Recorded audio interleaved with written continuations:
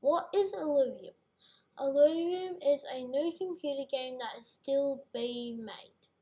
It combines worlds of gaming and cryptocurrency. The game is the game studio is building an open world adventure game on the Ethereum blockchain. This means players can collect, exchange, and battle with NFT assets.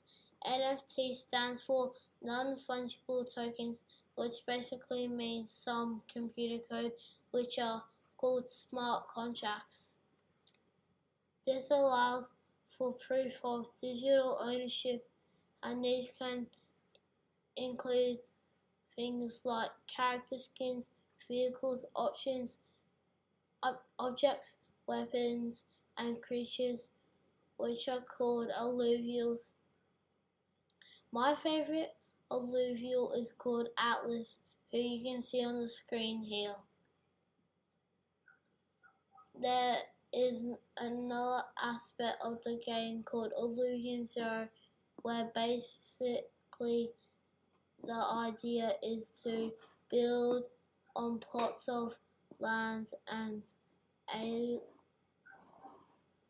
plots of land on the alien planet and harvest it for materials and fuel supplies.